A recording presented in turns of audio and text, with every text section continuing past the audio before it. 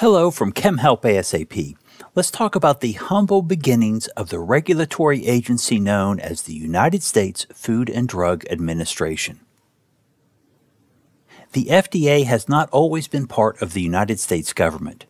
Back in 1820, 11 physicians gathered in Washington, D.C., and established the United States Pharmacopeia. This was not a government document or action, but it was an attempt to standardize recognized medications. It was not until 1862 that the government formed a Bureau of Chemistry, which was part of the Department of Agriculture. Approximately 20 years later, in 1883, Dr. Harvey Wiley became the head of the Bureau of Chemistry. Dr. Wiley is important because he pushed for changes that eventually led to the 1906 Pure Food and Drug Act, which was sometimes called the Wiley Act. This piece of legislation tried to address problems of adulteration and misbranding in both drugs and food. While we're getting close, the Food and Drug Administration had not been formed by this date of 1906. In 1927, the Bureau of Chemistry split. One branch was the Food, Drug, and Insecticide Administration.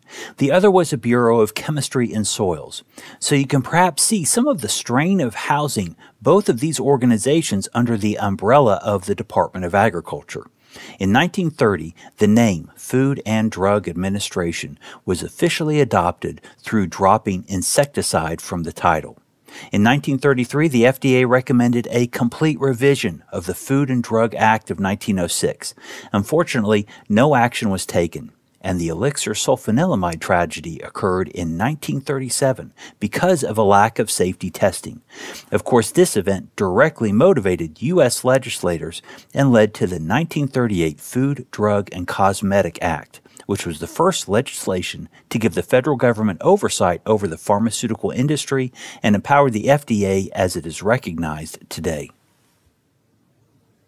I hope you now have a better understanding of the origin of the US FDA, which formed largely out of a need for improved drug safety. Please consider subscribing, leaving a like, or making a comment. Take care.